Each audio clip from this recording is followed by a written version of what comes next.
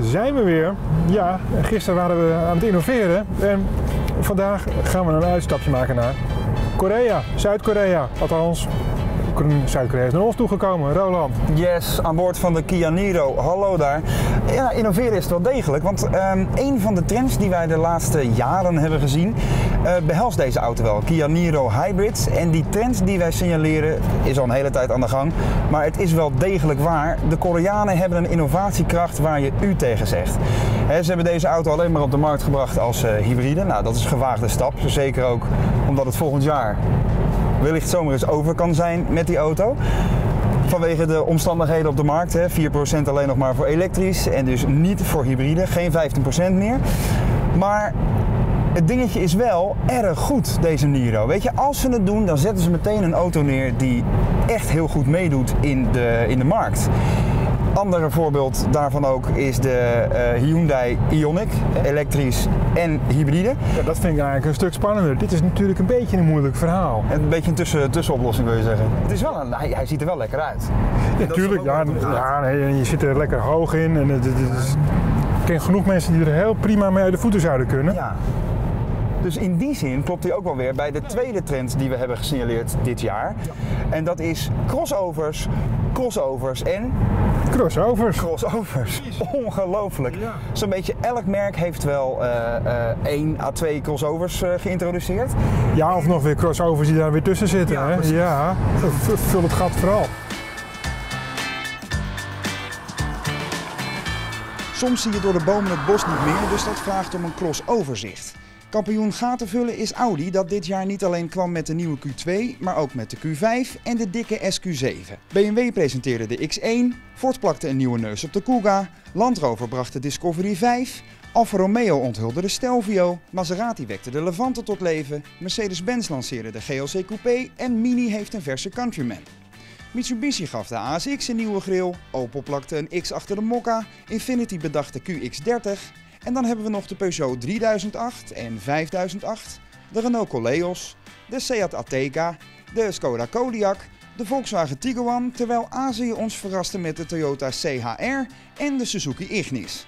In alle segmenten en bij bijna alle merken schieten de crossovers dus als paddenstoelen uit de grond en dat gaat in 2017 zeker niet veranderen. Ja, de redenen zijn natuurlijk duidelijk. Hè. Hoge instap, veel ruimte, het ziet er stoer uit. Dat is aankoopreden nummer 1 bij crossovers. Ja. Dus die trend gaan wij in 2017 ook zien. Wat vind je daarvan? Um, nou ja, tegen die tijd dat ik uh, straks uh, slechter been ben, zijn er natuurlijk zat van die dingen tweedehands te krijgen. Dus uh, koop ze nu met z'n allen nieuw, zou ik zeggen. Duidelijk, ja.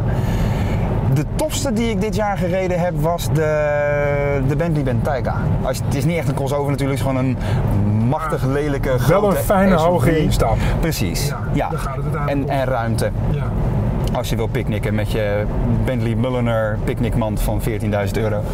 Hartstikke leuk. Maar goed, dat vond ik een, uh, een auto die echt wel, uh, wel opviel. Volgend jaar krijgen we daar natuurlijk de Rolls-Royce variant bij. Ja, tuurlijk. En uh, ja, ik denk nog wel dat dat, dat wordt nog wel spannend. Die, de Lamborghini Urus gaan we meer over horen. Dus ja, dat was wat mij voor mensen met, uh, met moeilijke instapproblemen. Uh, ja. of zo. Zou jij zelf hier weer gaan heen? Uh, daar ben ik nog niet aan toe. Oh, ik ben nog niet oud genoeg? Nee. Crossover dan? Ja, ik vind het steeds mooier worden. Groen! 2017 biedt wel heel veel mooie dingen. Ja? ja. Waar kijk jij naar uit? Live. Live. Ja. Weet je dan wat ik bedoel? Ja, ja, we gaan weer mensen. Autoweek live.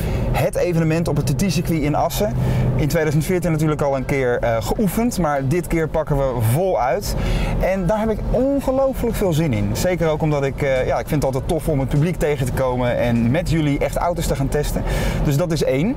Punt twee wil ik even aanstippen is uh, een andere manier van live. Want wij gaan per eerste week januari 2017 beginnen met Autoweek Live Drive. Dan denk je, wat is dat dan? Nou, eigenlijk die gezellige huiskamer die je nu ook voor je hebt. Exact. Ja. Je zou kunnen zeggen dat de achteruitkijkspiegel terugkomt, maar dan op een andere manier. Elke vrijdagmiddag om 4 uur zetten wij een camera in de auto die live connectie heeft met Facebook.